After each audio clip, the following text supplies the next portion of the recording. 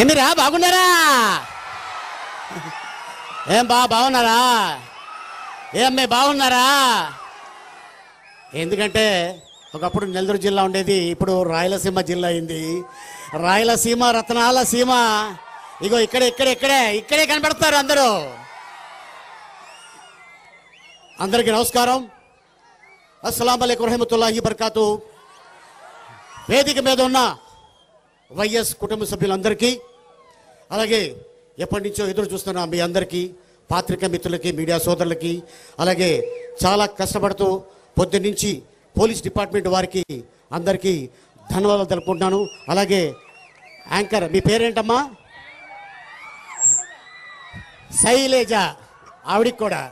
ఎందుకంటే చాలాసేపటి నుంచి మిమ్మల్ని అందరినీ ఇలాగా ఈ విధంగా కూర్చోబెట్టి పాపం చాలా కష్టపడింది కాబట్టి ఈ వేదిక మీద వాళ్ళ పేరు కూడా చెప్తే చాలా ఆనందంగా ఉంటుంది. ఇది చూసారా? ఇది ఒక చైనీత సోదరుడు వెంకటగిరిలో నా మెళ్ళలో వేసాడు. కానీ ఏ క్యాస్ట్ అయినా ఏ మతమైనా కూడా వచ్చేది ఇదే. ఇది రాదు. అయితే దీనికి నాకు చాలా అనుబంధం ఉంది. ఏంటంటే దీన్ని చేరితే గుడ్డ అవుతుంది ఆ గుడ్డని కట్ చేసి షర్ట్ కానీ ప్యాంటు కానీ కుడితే అది మన ఒంటికి డ్రెస్ అవుతుంది. ఎందుకు చెప్పానంటే మా నాన్న టైలర్.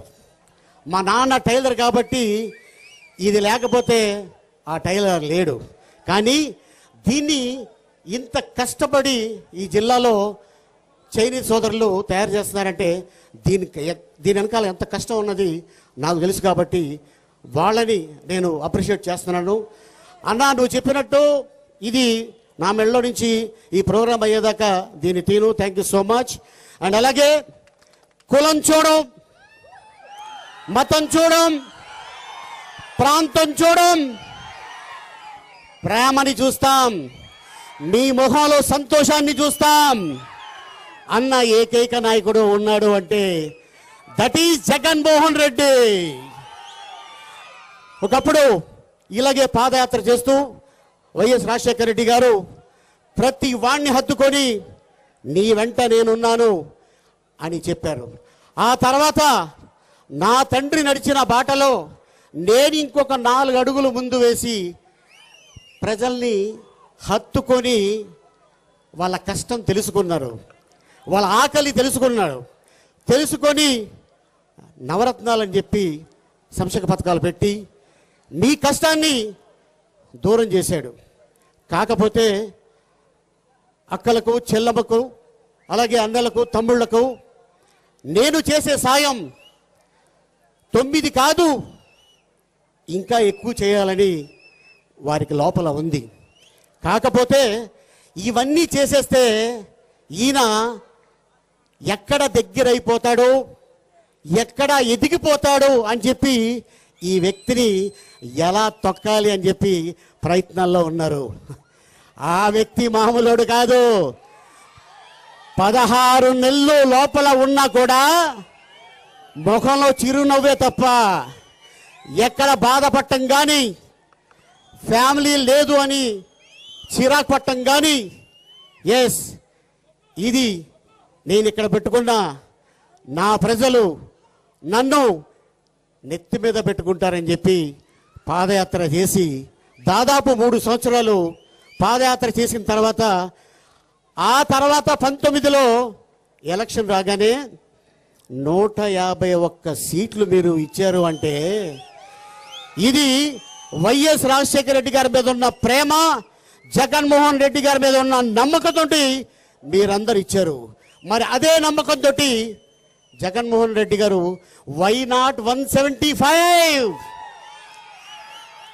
ఆ నమ్మకమే మీ మీద ఉంది కాబట్టి దయచేసి రేపు మార్చా ఏప్రిలా ఎలక్షన్ ఎప్పుడు ఎప్పుడు ఎప్పుడా అనేది ఎదురు చూస్తున్నారు. డెఫినెట్గా అలాగే ఇక మా రామన్న. ఈ రామన్న చాలా మంచి వ్యక్తి అండి. ఎందుకంటే దాదాపు మేము ఇరవై సంవత్సరాల నుంచి కలుసుకుంటున్నాం. ఎక్కడ అంటే ఎక్కడైనా ఫంక్షన్ ఉందంటే ఆయన నన్ను చూసి అని ఒక నవ్వు నవ్వుతాడు. నేను కూడా చూసి అని ఒక నవ్వు నవ్వుతా. ఇంతే. ఆ తర్వాత ఎక్కువసేపు ఉంటే ఏంటన్నా ఎలా ఉన్నారు? బాగున్నారా లేదా? అలాగే మరి వారి తండ్రి గారు. మరి రెండు రాష్ట్రాలు కలిసి ఉన్న రోజుల్లో మరి ఆయన ముఖ్యమంత్రిగా చేశారు. ఏ రోజు కూడా ఎవరు వచ్చినా కూడా మనిషిని పిలిచి హత్తుకొని నీ పని జరుగుతుంది పో అని చెప్పే వ్యక్తే తప్ప ఆయన ఎప్పుడు కూడా ఏది ఆశించలేదు. మరి ఆ తండ్రికి ఉన్న అద్భుతమైన గుణాలు మరి మా రామన్నకు కూడా వచ్చున్నాయి అదే గుణాలు. ఆయన ఎప్పుడు కూడా నేనేమో మాజీ ముఖ్యమంత్రి కొడుకుని నాకేంటి అని ఎప్పుడు కూడా ఆయన ముఖంలో నేను చూడలేదు. అది చూడను కూడా అది కనిపించదు కూడా అది రాదు కూడా. ఎందుకంటే ఆయన చిన్నప్పటి నుంచి నా తండ్రి నన్ను చదివిస్తున్నాడు కాబట్టి నేను ఎదగాలి ముందుకి రావాలి అని చెప్పి మొట్టమొదటిసారి ఇప్పుడు మీ ముందుకు వచ్చాడు. మీ రాపూర్ వచ్చాడు ఆయన. మరి ఈ రాపూర్లో మిమ్మల్ని నమ్ముకున్నాడు కాబట్టి తప్పకుండా మీరందరూ అద్భుతమైన మెజారిటీతోటి మా రాముని అసెంబ్లీకి పంపించాలని కోరిక ఉంది. పంపిస్తారా? పంపిస్తారా? తప్పకుండా పంపించాలి. అలాగే మరి ఏదైతే మరి ఈ రోజున మనకి ఇన్ని పథకాలు ఇచ్చిన చెల్లమ్మలకు కానీ అక్కలకు కానీ అన్నలకు కానీ తమ్ముళ్ళకి కానీ డెఫినెట్గా అవన్నీ అందుతున్నాయి కాబట్టి మా జగన్మోహన్ రెడ్డి గారు ఒకటే నేను మీకు మంచి చేస్తే నన్ను మళ్ళీ గెలిపించండి అని గొప్పగా ఒకే ఒక మాట చెప్పిన ముఖ్యమంత్రి ఉన్నాడంటే అదే వైఎస్ జగన్మోహన్ రెడ్డి గారు. ఎందుకంటే అవన్నీ మీ అందరికీ చెందుతున్నాయి కాబట్టి ఆ నమ్మకంతో ఆయన మిమ్మల్ని అడిగాడు. సో తప్పకుండా రానున్న రోజుల్లో అద్భుతమైన మెజార్టీతోటి అన్నని అసెంబ్లీ పంపించాలా? అలాగే why not one seventy five అనేది మనం గిఫ్ట్గా మన జగన్మోహన్ రెడ్డి గారికి ఆ వన్ సెవెంటీ ఫైవ్ మన తరఫున అన్నా నువ్వు మా కోసం ఇంత చేసావు నీ కోసం ఇదిగో మేము చేసాం అని చేస్తే మన రాష్ట్రం సస్యశ్యామలంగా ఉంటుంది అద్భుతంగా ఉంటుంది. రానున్న రోజుల్లో రాబోయే తరానికి మన జగన్మోహన్ రెడ్డి గారు ఒక గొప్ప నాయకుడు అవుతాడు. రాబోయే అలాగే ఏదైతే ఉందో మన పిల్లలకి ఆ భవిష్యత్తు తప్పకుండా కావాలి. అది ఎస్టీ ఎస్సీ మైనార్టీ బీసీ కూడా ఇంతమంది నేనున్నాను అని చెప్పి మీ వెనకాల నేనున్నాను నా వెనకాల మీరున్నారని ప్రతి మీటింగ్లో వారు చెప్తూ ఉంటారు. నిజంగానే అది మనం నిజం చేసుకోవాలి.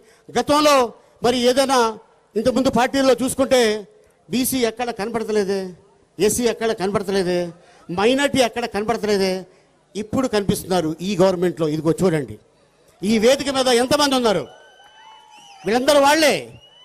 ఇంత అద్భుతమైన అవకాశం ఇచ్చిన వీళ్ళందరికీ వాళ్ళతో పాటు నాకు కూడా.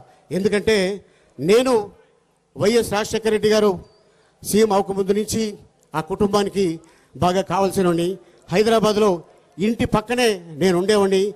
తర్వాత వారు పాదయాత్ర తర్వాత టూ థౌజండ్ ఫోర్లో ఎంత అద్భుతమైన మెజార్టీ మీరు అందరూ ఇచ్చారు. అలాగే టూ థౌజండ్ నైన్లో కూడా అద్భుతమైన మెజార్టీ ఇచ్చారు. సంభవం భగవంతుడికి ఏమో ఆయన అవసరం వచ్చిందేమో అందుకోసం వారిని అలా తీసుకెళ్ళిపోవడం జరిగింది. నిజంగా ఆయన లేరు అనే వార్త వినగానే నిజంగా మా అందరికీ ఒక ఒక వారం దాకా నిద్ర పట్టలేదు. సో అట్లాంటి మహానాయకుడు కుమారుడు అయిన వైఎస్ జగన్మోహన్ రెడ్డి గారికి రాబోయే రోజుల్లో మీరు అద్భుతమైన మెజార్టీ ఇస్తారని ఆ నమ్మకంతో రాపూరు రావాలి అని మా రామన్న చెప్తే అన్నా నేను మాట ఇస్తున్నా. తప్పకుండా వస్తా అని చెప్పా. వచ్చా మాట్లాడా. వచ్చే దారిలోనే పెక్కిలిలో చాలామంది సోదరులు మా ఊరు నుంచి వెళ్ళాలి మీరు ఆగాల్సిందే అన్నారు. ఊరు టక్కిలి నా పేరు Ali. Okay thank you thank you so much. మళ్ళీ కలుసుకుందాం. నమస్కారం. అస్సలం అలైకు రహమతుల్లాహి వబర్కాతు థ్యాంక్ యూ. గారు ఒక్కసారి మీరు వారి కోసం ముందుకు రావాలి. మూడు పక్కల పాపం మిమ్మల్ని చూడాలని చాలా ఉత్సాహంతో ఉన్న ముందుకి ఇంకొంచెం